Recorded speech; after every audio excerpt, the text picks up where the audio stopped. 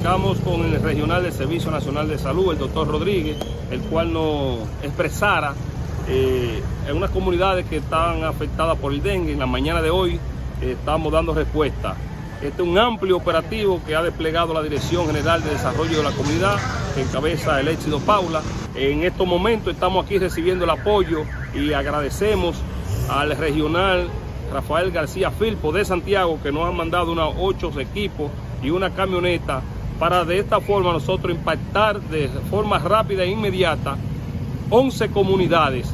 Hoy en San Francisco de Macorís estamos en la organización Los Maestros, vamos a la vía férrea, Los Rieles, vamos a la organización Jennifer, Abreu, en Sánchez Madrigal, Hermanas Mirabal, Los Chiripos y las comunidades de Naranjo Dulce y de La Guasuma, lo que el doctor Rodríguez nos ha indicado que es más urgente que vamos a erradicar esos vectores y esos mosquitos. Es uno de los operativos más amplios que ha tenido la Dirección General de Desarrollo de la Comunidad y se lo merece San Francisco de Macorís, porque aquí vamos a terminar con el mosquito que ataca a los, a los niños, a los bebés.